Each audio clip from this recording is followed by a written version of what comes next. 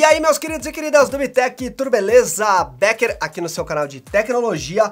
Vamos hoje para o unboxing do Blubo S1. Olha só que beleza, caixona bonitona aí de cima para vocês verem. É o seguinte, galera, vocês estão pedindo Blubo S2, já eu sei, calma.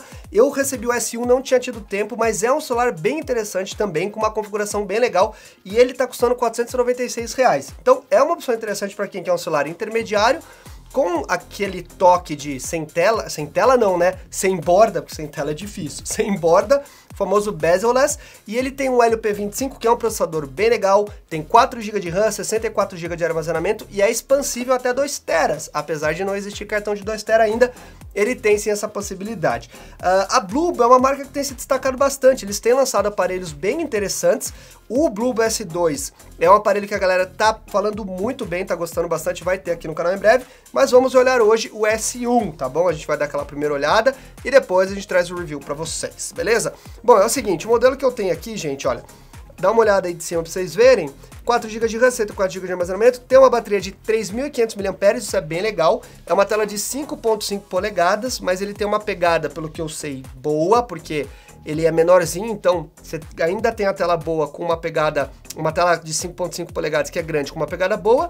Ele tem Gorilla Glass 4, Corning Gorilla Glass, que é aquele curvadinho. E é isso aí, beleza? Então vamos lá abrir esta belezura aqui e já ver o que nos espera. Opa, peraí. Ok, ok, ok, ok. Beleza, então ó, nós já temos ele aqui bonitão, Blue Design. Aqui está o queridão. Deixa eu tirar ele daqui. Olha só que beleza, galera. Ele é bonito, hein? Ele é bonito, olha só. É uma câmera dupla traseira aqui, é uma câmera de 13 megapixels com uma de, perdão, 13 não, uma de 16 megapixels com uma câmera de 3 megapixels. Eu acho meio estranha essa combinação, tá? Pelo que eu já percebi, eu já dei uma olhada de forma geral, a segunda câmera, que é essa de 3 megapixels, ela é usada só para dar um efeito de profundidade e é mais para dizer que tem, porque ela não funciona em tempo real com a câmera de 16. Então a gente pode dizer que é uma câmera só para auxiliar naquele modo de profundidade, né, de, do fundo ficar embaçado. Mas ele é muito bonito, ó, o cor, ele parece que tem um corpo de cerâmica, ele lembra muito o Mi Mix, tá, o, em termos aqui de design, a pegada dele, mas deixa bastante marca de mão, pelo que deu para ver já aqui, olha, já tá deixando. Tem a marca do Bluvo, carregador USB tipo C, a saída aqui para os falantes, temos a câmera aqui embaixo, tá, gente? Porque ela não fica aqui em cima, esses celulares com pouca tela é basicamente a câmera aqui. Sensor de digital, botão de mais e menos do volume, ligar e desligar. E é isso aí, aqui a gente tem um falantezinho para você poder falar ao telefone. E é isso, e aqui o cartão de memória. Mas olha, tô impressionado com a qualidade, assim, pelo menos de construção inicialmente tá muito legal. E ele tem uma pegada muito confortável, gente. Esses celulares que tem tela grande, é, grande proporção, a gente poderia dizer, com corpo pequeno, é muito legal. Ele tá me lembrando muito a pegada do o Midigi Crystal, que a gente fez unboxing aqui, ele lembra muito o tipo de pegada. Ele não é muito fino, pelo que vocês podem ver aqui, mas tá legal. Ele já tá ligando aqui, beleza. Vamos ver o que, que a gente tem enquanto isso uh, aqui de acessórios, tá? Enquanto ele vai ligando aqui. Vamos ver. Uh, nós temos, ó, oba, uma capa. Olha só, beleza? Já vem uma, um recado aqui da, da Blubo para os clientes. Vem com a proteção com o... Como é que chama isso? Esqueci o nome disso. É, com a película, tá bom? De vidro, legal. A capinha para você colocar. Eu, isso que eu gosto dos celulares das marcas chinesas de forma geral. Eles são muito completos nesse sentido, né? Ó, a capinha belezinha, bonitinha. Manuéis. O que mais nós temos aqui? Vamos ver. Carregador. Eita, ah, verdade, tem um adaptador aqui, ó, porque ele não tem entrada uh, de 3.5 milímetros, tá bom? USB tipo C aqui, e é isso aí. Eu odeio isso, gente, porque se você esquece isso aqui, você não consegue escutar música, tá bom? Uh, eu acho isso uma pena, mas não sei por que as empresas estão fazendo isso, né? Carregador, ok? Do Bluebo. É um carregador, deixa eu ver... Não é Quick Charge esse aqui. E a bateria de 3.500 mAh, então deve demorar um pouquinho para carregar o cabo padrão e é isso que nós temos. Vamos colocar toda essa tralharada aqui e vamos ao que interessa, que é olhar o aparelho. Vamos lá. Ele já iniciou aqui, galera, ó. Ele já tem uma interface que a gente... Deixa eu dar uma aproximada aqui, que acho que vai ficar melhor para vocês verem, aí sim, beleza? Então, ele tem uma interface modificada, bem modificada, pelo que dá pra ver. É Android que a gente tem aqui, a versão 7.1, se eu não me engano, ó. Vamos ver aqui. Android, vamos ver no sobre. About. Phone. 7.0, tá bom? Provavelmente vai ser atualizado pro Oreo 8.0, que já está vindo aí. Uh, e a gente tem bastante... Deixa eu ver aqui. É, né, até que não tem muita coisa. Eu achei que tinha muito bloatware, mas foi impressão só. A gente tem algumas coisas instaladas, mas bem simples. ECT News aqui, dá pra ver que não é do sistema, File Manager, rádio, já tem, tem rádio FM, legal. É rádio FM não, tem rádio, né? Os dois tipos de rádio. Gmail já vem instalado e tal. Mas ele puxa, assim, é, tem uma modificação estética, mas está puxando mais para o Android puro que não vem quase bloatware. Eu acho isso bem legal. Vamos ver aqui, ó, o navegador dele. Não é o navegador que a gente tem, obviamente, da, do, do, Google Chrome, que é o que a gente costuma utilizar, é um navegador próprio deles. Mas beleza. Uh, tá bem fluidinho aqui, olha, ele tem um menuzinho para a esquerda aqui, que você tem acesso a aplicativos comumente usados e serviços. Ele tá em inglês, tá bom? Mas provavelmente tá despertando um relógio aqui, peraí, pronto. É, mas ele provavelmente tem suporte para português, tá? Nas línguas, quando você. A gente pode reiniciar e fazer a instalação. Eu preciso conferir, mas depois eu coloco aí embaixo para vocês. É que, se eu não me engano, eu vi no site que que realmente ele tem suporte para português. Em termos de taxação, gente, eu fui taxado em cento e não, em 210 reais, tá? Então ele saiu na faixa de 400, uns 600 e poucos reais, que é um preço bem em conta considerando esse hardware que nós temos aqui e uma construção bem legal. Vamos dar uma olhadinha aqui, ó, é, colocar um vídeo no, no YouTube e a gente já dá uma olhada na tela e no som dele. Galera, eu acabei de perceber aqui que a Play Store, vocês podem ver que ela tá modificada, tá vendo? É um ícone, ela não é o ícone original. Eu não gosto quando as empresas fazem isso, tipo, você modificar demais o ícone a ponto de você não conseguir reconhecer o original, que a Play Store tem aquele desenho padrão dela. Mas é um detalhe que, que me incomodou um pouco. Vamos lá, eu vou fazer o login aqui. Eu tô mexendo nele aqui na Play Store e assim, tá fluindo bem rápido, sabe? Tá, tá um aparelho legal, pelo menos inicialmente as impressões. A digitação dele é bem confortável, eu achei bem legal, ó.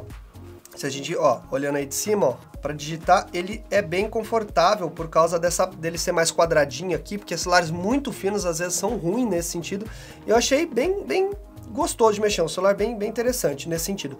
Vamos ver aqui, ó, o YouTube, a gente vai ver a tela e já testa a câmera rapidinho pra gente ter aquela impressão marota, tá bom? Vamos pegar um vídeo aqui do canal, é claro, né? Vamos prestigiar. Se você não tá inscrito, se inscreve aí, já deixa aquele like, né? Nossa, o som tá alto, tá potente, gente. E vamos ver aqui, ó. Dá uma olhada aqui, por exemplo, nesse vídeo. E aí a gente já vê. Ó. Não, o som tá interessante. E olha que legal que fica, gente, a tela, ó. Tá vendo? Fica bem aproveitado, então a gente tem uma proporção bem grande. Olha isso aqui. É bem legal pra ver, né? Então uma tela de 5.5 polegadas quase sem borda, praticamente sem borda. Mas é bem legal. E a visualização olhando aqui, gente, deixa eu ver se tá em 1080p. Opa, tem uns, uns atalhos aqui que eu não gosto. Depois eu vou tirar isso aqui tá em 480, colocar 1080p. É uma tela 1080p Full HD, tá? Não é 2K nem nada disso. Mas, gente, tá bem interessante, assim, tem um contraste legal. Uh, olha aí de cima pra vocês verem, ó, tem uma boa luminosidade, assim, então não sei quantos nits tem exatamente, que é o brilho é, do, do, da tela, mas, cara, tá, tá bem interessante essa tela, tá bem interessante mesmo. Uma tela da Sharp, pelo que eu vi. E acabou de acabar a bateria daquele lado ali, mas não tem problema, vamos continuar. É, mas tá bem interessante, então a tela já me surpreendeu inicialmente. Vamos tirar uma foto rapidinho aqui pra gente ver? Vou tirar uma foto aqui, ó. Esse aqui é o aplicativo da câmera. A gente tem o Face Beauty, o modo Blur, que é, é o modo para você tirar foto retrato, né, com fundo embaçado. Vamos dar uma olhada aqui como que esse modo se sai. Hum, bem lento. O modo o modo Blur. Agora vamos tirar uma foto aqui rapidinho da baguncinha aqui do lado. E agora vamos tirar uma selfie pra gente ver. Ok? Ah, é, a câmera é invertida, então a gente fica um pouco confuso, peraí. Na verdade eu vou fazer isso aqui. Aí, agora sim. Pra tirar a selfie, gente, olha só, eu tive que inverter o celular porque a câmera fica aqui. Então, quando você gira, automaticamente ele faz o giro no aplicativo para você, tá bom? Na verdade, ele já fica do modo correto, ó, porque se eu for tirar a foto assim, eu pego o dedo aqui na frente, beleza? Ó, seguinte, vamos olhar aqui as fotos rapidamente pra gente ver, mas eu já vi que não gostei muito. A, a selfie até que tá boa, ó. A câmera frontal a gente não tem muita praticamente definição, pouca definição, mas tem um contraste interessante e a luz aqui ajuda muito, né? Tá ok dentro dos padrões, mas não tá, né, não tá aquela coisa maravilhosa. Uh, agora vamos ver aqui, ó, o modo blur. Deixa eu ver aqui. Esse aqui é, o, é a foto normal, sem o modo blur. Tá razoável, tá? Não vou dizer que é uma câmera maravilhosa, mas para rede social vai quebrar o seu galho, pelo que dá para ver. É claro que são impressões iniciais, como eu sempre falo, né? O review, o unboxing é um pré-teste. Eu tenho que utilizar em condições reais para poder trazer as impressões. E esse aqui, gente, é o modo blur. O modo blur, deixa eu ver. Aqui não tô vendo direito o modo aplicar. Aqui, ó. Esse, ih, tá, tá meio bugado. Aqui, tá vendo, ó? Não pegou direito.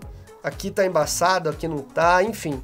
Tá vendo? Tá dando para ver que é bastante software, tá? Porque se a gente fizer isso aqui, olha que interessante. Eu tô aqui na câmera, ó. Então, deixa eu... Tá pegando branco aqui da tela que dá para vocês verem, né? A câmera traseira. Se eu colocar o dedo numa das câmeras, ó, que é a câmera da direita, não acontece nada. Olha só. Se eu colocar na outra, ele fecha. Né? Na da direita, que é essa aqui, ó, não acontece nada. Então, o que, que significa isso? Ou é uma câmera falsa, que eu acho que não é o caso, mas é a câmera de 3, 3 megapixels que é utilizada só na hora que você tira a foto do modo retrato, que ele deve usar em coisa de segundos ali. Então, eles colocam para dizer que tem uma câmera dupla, é mais um jogo de marketing do que realmente uma câmera dupla, a gente pode dizer. Mas assim, de forma geral, tá bem interessante. Eu gostei bastante da qualidade de construção, tá bem rápido, tá? É um celular que dá para vocês ver, o LP25 é um, um processador rapidão, bem interessante, com 4 GB de RAM, vai bem para multitarefa, jogo vai rodar de boa também. Só que uh, ele é um pouco beberrão, tá? Não é o processador mais econômico que você vai encontrar. De qualquer forma, no overall, né, na, no geral, tá um, um, um, celular legal, bem interessante, principalmente para essa faixa de preço, gente, 400 reais, 490 reais. Você não encontra nada no mercado no Brasil. A gente sabe disso, né? Enfim, aquela velha história, mas tá legal. Eu vou utilizar ele. Eu senti que ele esquentou um pouquinho aqui nessa mexida que eu dei. Coisa pouca, mas, né? deu uma, uma esquentadinha de leve, mas eu vou utilizar ele como meu celular para trazer as, as minhas impressões para você, vou testar as câmeras, tudo certinho, e aí você acompanha aí porque tem vídeo todo dia, tá bom? Então não esquece de se inscrever, esse é o Blubo S1 bonito, o bicho é bonito mesmo, mas a gente precisa fazer o teste completo para realmente falar se é um bom celular ou não, tá bom? As primeiras impressões foram legais. Espero que você tenha gostado desse vídeo. Não esqueça de se inscrever no canal, deixa o seu like e compartilhe esse vídeo com a, com a família e com os amigos. Eu sou o Becker, valeu e tchau, tchau.